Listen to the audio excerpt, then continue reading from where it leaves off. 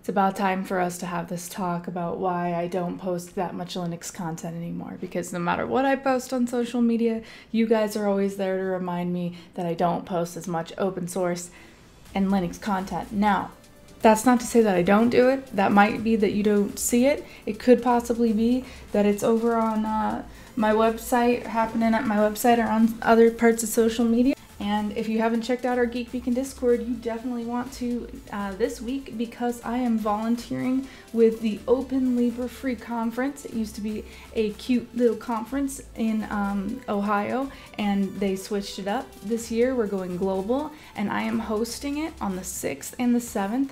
On the 6th, we're going to Discord and we're doing tons of discussion groups about um, things like burnout and mental health. We're talking about um, different Vim versus Emacs, you know, um, every everything that you could possibly imagine. We're talking about it on the Discord. We're also running three games at a time that are promised to be cross-platform. So um, I've put a lot of work into this, and I would love for you guys to check it out. And on the seventh, uh, for every every like year I've been off of YouTube, I'm gonna give you an hour of open source and Linux content.